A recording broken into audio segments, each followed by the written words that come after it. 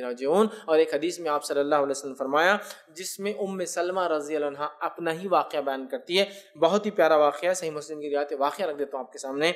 ये बातें जब वो आयतें वगैरह ये सहाबियात ने सुन रखी थी, हुआ ये कि उम्म सलमा रज़ी के शोहर का इंतकाल हो गया। ठीक है?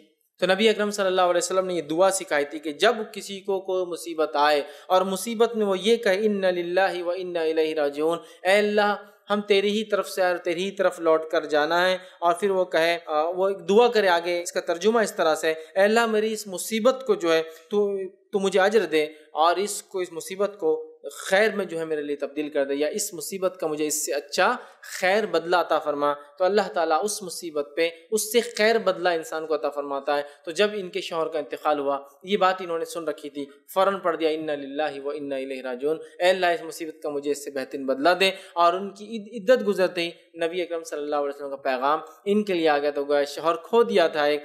इन लाही व इन राजून पढ़ा और अल्लाह ताला ने सबसे बेहतरीन शोहर जो दुनिया में हो सकता है, वो आपको दे दिया। समझा? इन तो हमारी कोई चीज़ गुम गई इन व इन राजून अल्लाह इसका इससे अच्छा बदला और आप देखिए, अल्लाह ताला उसको उससे बेहतर चीज़ अता फरमा देता है।